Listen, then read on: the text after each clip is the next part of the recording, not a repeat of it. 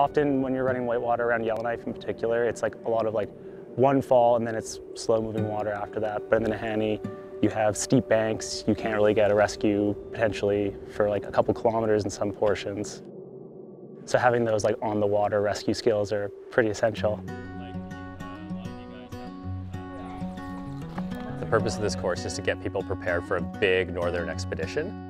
Some friends and I are preparing to do a, about a 24-day trip through the Mackenzie Mountains from the Broken Skull River, which is a tributary of the Nahanni, and then out onto uh, Blackstone campgrounds right near Fort Simpson.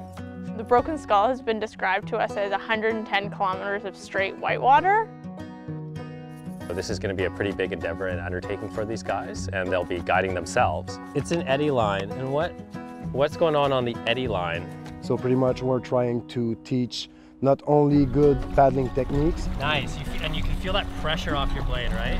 but also good ethics on the river, good decision-making skills, and also group management skills. I don't want to be a liability. I want to be someone that uh, takes risk away, not adds risk. So the harder skills will be really how to ferry across a river in big currents, how to cross over a big eddy line. Yeah, but the tricky part, I guess, was like coming down and then trying to get through the eddy. We've been hitting like big uh, rivers, but also at a very high level, and that creates different obstacles and a very challenging setting for participants. So it gives them a real good chance to improve their skills. I think you hit the wave train and kind of just go Like like in that direction towards the river right, yeah. Yeah, and you could maybe eddy out in that little. Work your way out and find an eddy further down. It's been really fun. I really like uh, going through the big waves and it was so nice yesterday when the, the sun came out and we were just cruising along and yeah, had a big smile on my face. It was great.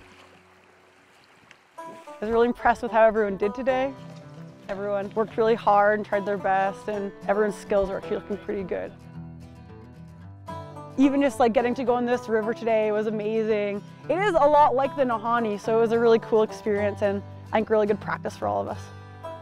It was my first time like rescuing someone with a throw bag. That's the main thing I wanted to be more confident about was being able to save my friends if something were to go wrong. So it was nice to get some practice. Nice work. Nice. Very nice work. Good job.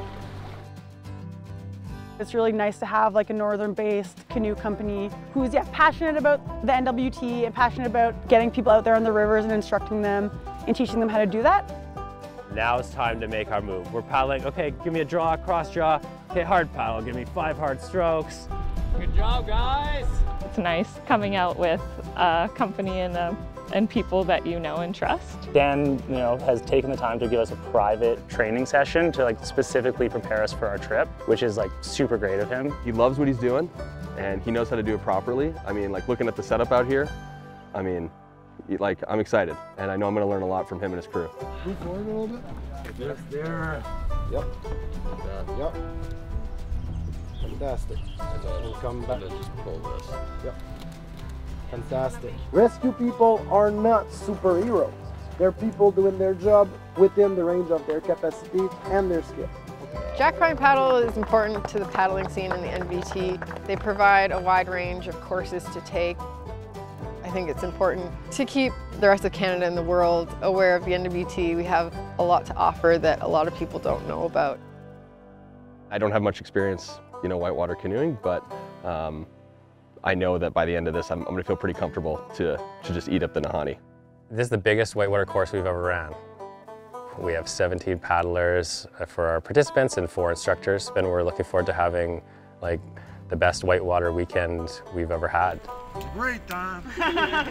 this is so great. Jack Pine Paddle allows paddlers like myself to gain the skills so that they can access some of the more remote and beautiful places in the Northwest Territories.